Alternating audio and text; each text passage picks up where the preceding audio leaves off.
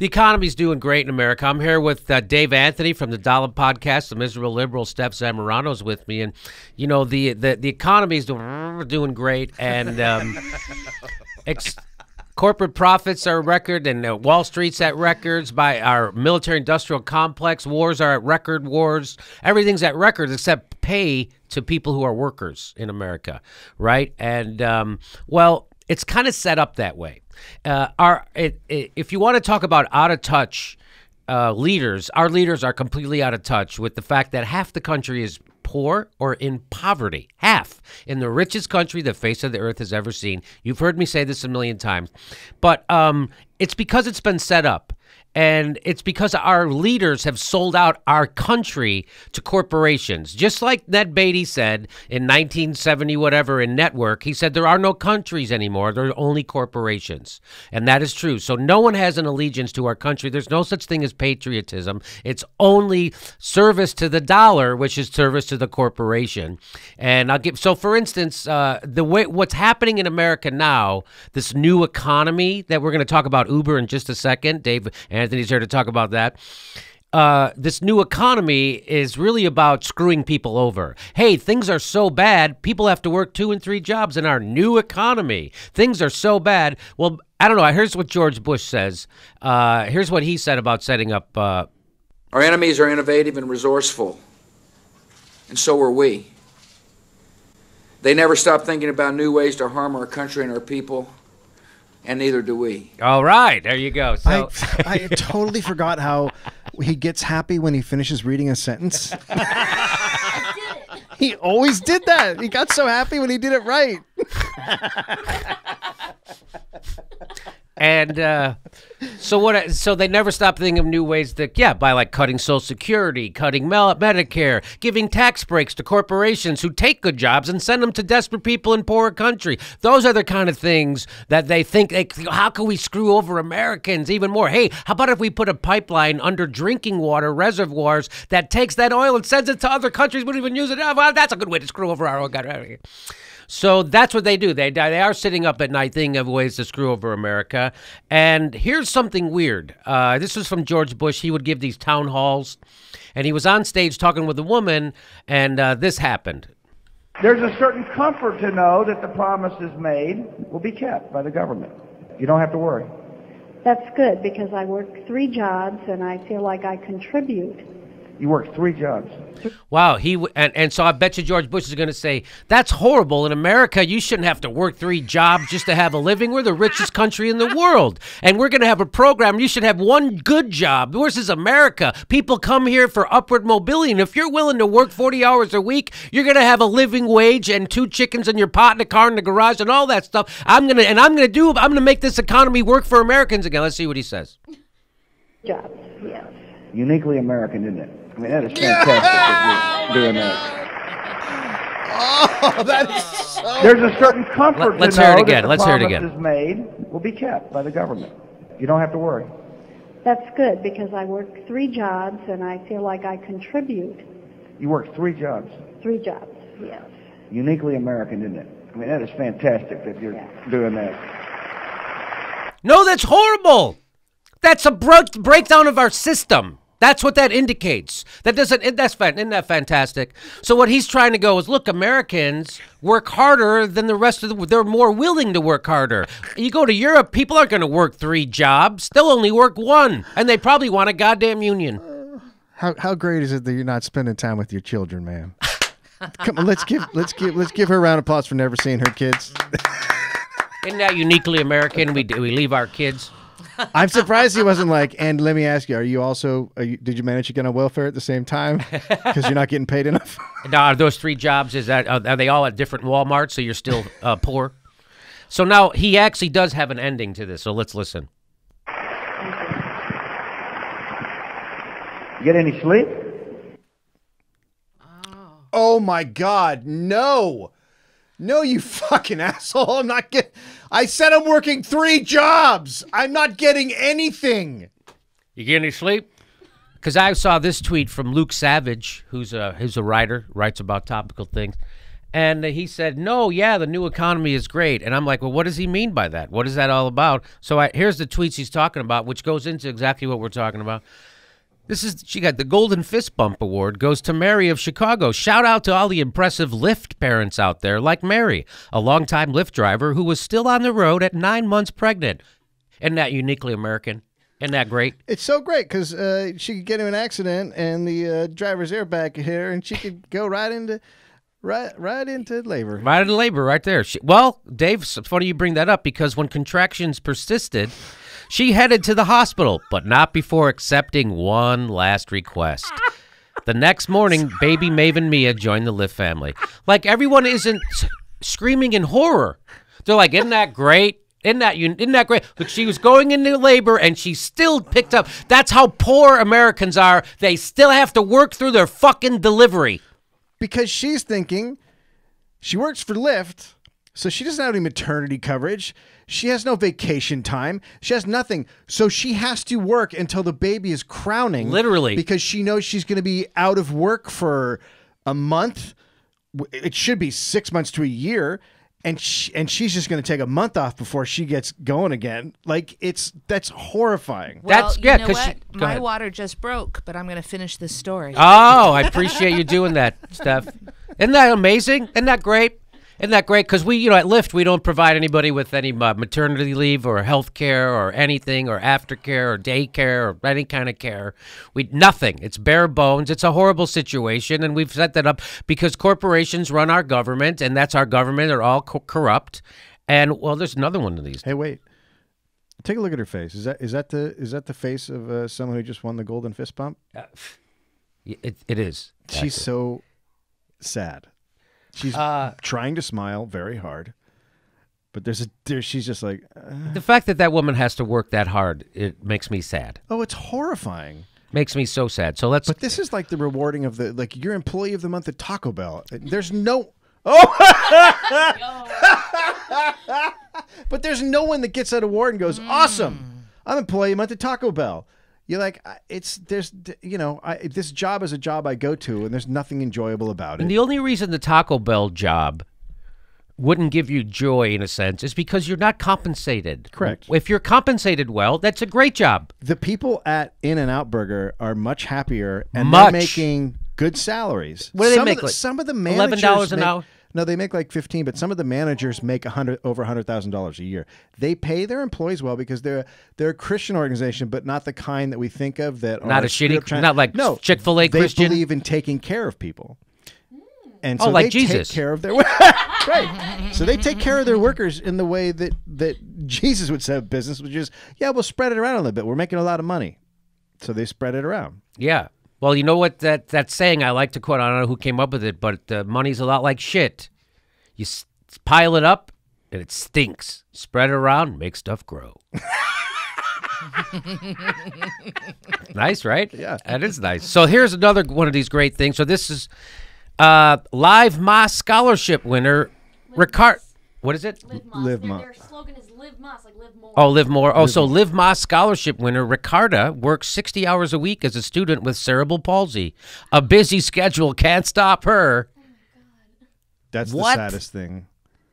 What? She has cerebral palsy and she's a student and you make her work more than a full-time job? She's working a full-time job and a half. And everybody's like, "Isn't that great?" That's fuck again. Horrible. That's horrible, A, that our students have to work full time jobs just to get through. She wants to go to college. You know what that is? She wants to make an investment in herself, which is an investment in our country. That's not a cost. When so that's why who's going to pay for college? College pays for itself because we're investing in America. It's an investment. When you put money in the bank, that's not like, where'd all my money go? Oh my God, we're losing money. I keep putting it in the bank. No, it's an investment. And that's how stupid Americans are. We want to make it as hard as possible for people to go to college. We want to put as many roadblocks in the way so they have to leap over them. Like, I don't know, you have to work a, a full full time job and a half with a disability, plus go to college. What the F? I couldn't get her to smile either. How, how, uh, Come on, come on, Ricarda. It's it's for the big uh, photo. How about uh, we gave her a living wage, so now she only has to work a full time job? right? What about 40? If that said 40 hours a week, you'd be like, I mean, it's still terrible because she's got cerebral palsy and she's going to school and she has to work. But 60 hours a week, that is, you should, as a company, the insanity that you think you can put that up as advertising, This that's is- a great thing. This is a great thing.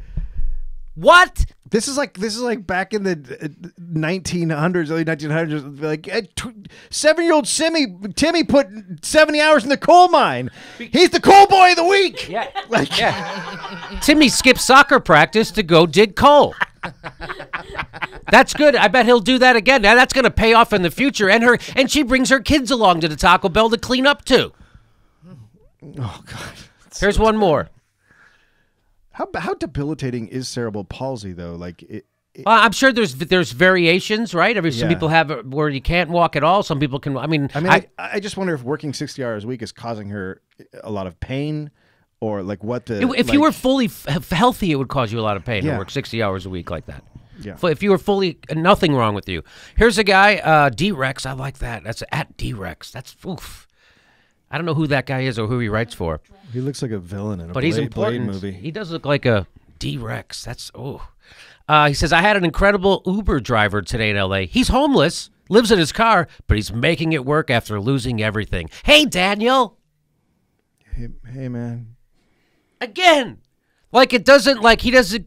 I mean, I'm not mad at D Rex or whatever in a sense, but it just shows you how messed up we've become in our culture. That a guy with a blue check instead of uh, walks into this situation and goes, "Hey, we got to fix this system." This is fucked up. There's a huge corporation making tons of money off of people everywhere, undercutting cab drivers, and this guy that can't even afford a about what is wrong with our country? This guy has no benefits, has no nothing, no vacation pay, no can't, can't even tip him because Uber doesn't allow you to tip him. that's what I would have said in the tweet. I would have said, hey, I, I had an Uber driver today, homeless, lives in his car. He's getting by. He's making it work. Fuck you for not letting me tip him, Uber. Yeah, maybe say that. That's why I take Lyft because Lyft actually does let you tip them. That's, uh, um, so this goes to the what's happening in our country. That's somehow uh, you're supposed to work two and three jobs. That that's the way you get ahead. That's an old narrative from the 30s. Okay, that you there was a time when immigrants could come to America and work really hard and get ahead. And then their kids would have a better life and their kids would go to college and have be- and it would be that's over. That's over. We have less economic mobility in america's economy than they have in europe. So why would people come here anymore? They would go there. And if they could. So yeah I'm sh- uh, so that's what this is all about. It's a it's our system. So I, I keep saying this over and over but i can't say it enough because whenever i say it most of the people don't believe me when i say this is that we live in the richest country the world has ever seen. Half the people half the people are poor or in poverty.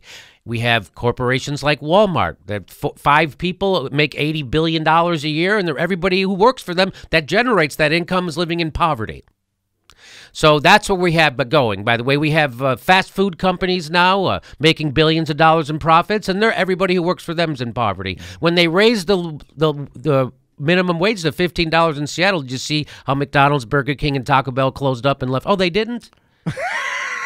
what do you no, mean? that economy is chugging along just fine. They've gotta really why? be- so poor people are spending money. Hey, so you weird. you don't think they're operating at a loss in Seattle? All those fast food companies. it's Again, why and why is it that restaurant workers, we all like restaurants, why don't they why aren't they allowed to have a living wage? I love eating at restaurants, everybody does. Why can't people who work at the places we love to go to earn a living wage? what is Well, that about? All right, so TGIFs is a, s- is a small mom and pop operation, and I've if you heard of try to make them, so I I read these, and the next night I'm watching Vice. You ever watch Vice News? I have watched Vice so News. They did one uh, a woman, uh, black woman. She's probably 45, and she lives in Modesto.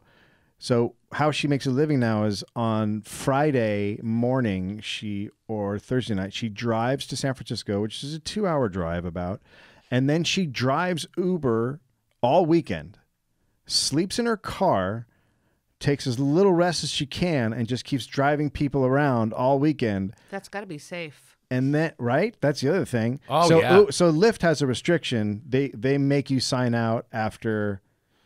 I want to say ten hours. Okay. Uber has no restriction. You can keep going forever. Right. There are no, no restrictions. hmm Right. Big so problem. Uh, so then she, at the end of this, she, you know, has her money for however long, and she drives back, and and this was even on Vice. I, I guess Vice doesn't really make any judgments, but the way she was acting, it came across as a very positive story because she's like, "Well, I have freedom," but it's like, well, until you until something happens Right. to So your you get- car or to you, right. or to anything and then you don't have then you don't have any money there's no there's no safety net when you're working with uber you're, if you anything happens you're just screwed but the fact that this was like she was thinking it was a positive thing and you're like there's you're on your own you're out there on a limb and if anything happens you're screwed that's not how society should work Right. That again, not in the richest country in the world. If we were a poor country and we didn't, we couldn't afford, we were scraping by to, you know, afford our military.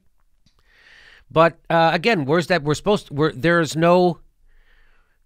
I remember when they used to talk about a peace dividend. Remember that there was Oh, supposed to be a peace dividend. That was Yeah. during uh, Bill Clinton's uh, presidency. They would talk about a peace dividend because there was no more Cold War, so we're not going to spend trillions of dollars on military anymore, and we're all going to be able to put that money back in our pockets, pay less taxes, and even have more stuff because we're not going to be spending all that money on the military. And that was called the peace dividend, and we never got it.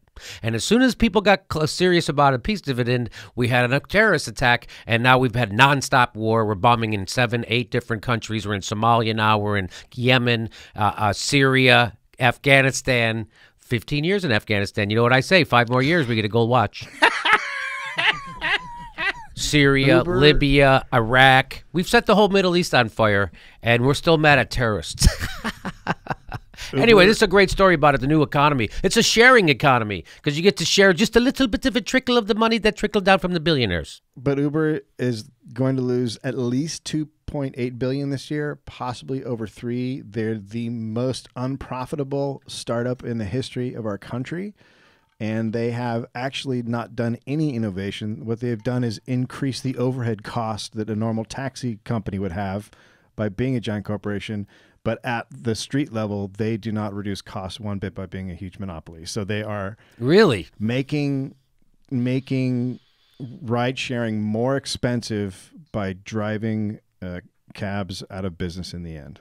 Really? And once they stop getting subsidized, they would have to jack up all the prices and they would cost more than taxis. So they're being sub- subsidized by rich people to drive all these little companies out of business and to and to drive taxi workers out of their stable. So they're like the Walmart of taxis. they are the Walmart of taxis. So what Walmart does is they come and they set up a huge superstore that sells everything that all the little stores in the town sell, and they sell it at a discount to put those people out of business. So now nobody has any good jobs. Everybody's poor, but everybody can't put it together that it's coming because of the Walmart. But they got cheaper stuff. Right. So people can't put that together, and then, uh, you know, people say, "Well, that's what we need more WalMarts." You know, people who call themselves libertarians. We need more. That's a good thing. You fucking idiots. Each cost But e- also- each ride that Uber does costs them 41%. You know, I do. I do like the idea of you know having this service, right? Like it's it's a, Yeah. it's a luxury service certainly that I could enjoy just as much from a taxi. But all my experiences with taxis have been Horrible. You know, like I, it's like how much am I going to spend? It's going to be your guess. Yeah, that. Well, I mean, that's the problem. Is they went into a business that, it, I mean, essentially, a lot of cab drivers are just assholes and and and shysters, and so they did go into a business, and now people trust them. But at the end of the day, the the the bigger thing is that they're going to be bad for everybody. Yeah. Yeah. But they Well, are keeping people in line as far as how they behave.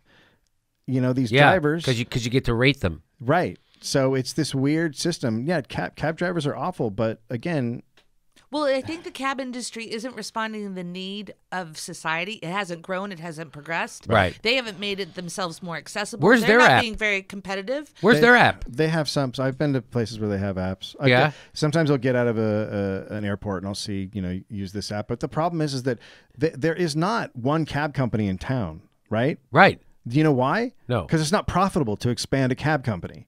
They keep them small for a reason. If if if that was profitable to create a big monopoly, another company would have done it with cabs 20, 30 years ago. The reason you don't see it is what Uber's doing is not profitable. Yeah. Oh, wow. That's interesting. So what? So they're counting on after they knock everybody out of the business, then they'll jack everybody's rates up, and that's when they'll start making money. You think that's what's going to happen? Yeah. Or or the the other plan is that they'll they'll have driverless cars, but from what I've read, the cost to get that fleet out would wipe them out completely. First of all, and and by the way, driverless cars. I'm going to make a big prediction. Never going to work. That's a big prediction. I know, and I don't know anything about technology, so I could be totally wrong. But how they get? What about bike lanes? Well, that, Turns they- out I, I saw a yeah, thing today. yeah. They don't know about bike. They don't know how to do bike lanes. Right. Right. You they see don't know that? how to do bike lanes, yeah. I don't know how But to that's do bike just lanes. like I don't know how to do that's bike just lanes. like regular drivers though. I'm telling you. Oh, by the way, the there had a lot of the driverless cars, Uber, were going through red lights. Is that true? Yeah. So they had to stop them in San Francisco. Let's look that up. Well, so Please, so they please. just in San Francisco Uber the, Uber just came out and said we're putting uh, we're testing cars on the road in San Francisco. Said, No, you're not. You got to get permission to do that. And and they were like, no, we're putting them out there. And then Uber's response was because they just kept putting them out. Uber's response was, well, we have people in the cars, so they're not actually driverless cars. Exactly. And then they went on to say, and, and it's not they're not actually it's not technology's not actually being used, and it's like. So you're just putting cars on the road? like, what's the problem? Why are you? Yeah. So th- look, they have to get they have to get the idea that they're going to have driverless cars everywhere out there because there's no way they're not scared that all their money's going to dry up very very soon. So they have to keep pretending like they're doing something special. Uh, it said a spokesperson said both incidents were under review. Safety is our type What top incidents? priority. What incident? The cars running the red lights. So, so there- they're under review right now. Where? Uh, this is in San Francisco. So cars were. So the driverless There cars. was, one, there was one car there that um, they found was going. It was like taken Sunday morning, a picture of it going through a red light. So they were going through red lights. Mm-hmm. that's what I heard. So, uh, yeah, as soon as there's a, a truck uh, drives into a school bus, driverless cars are going to be. I'm Well, telling that's just it. If they they hit one kid, and, One and kid- adult adult would people would be like whatever, but one kid, that's not true. Sandy Hook happened. I'm going to take it all back. Okay, we'll see what happens with this. I guess you know what? If it's profitable, it will happen. I'm going to take everything back I said. if it's profitable, not profitable. They're losing money. Let me finish. let me finish.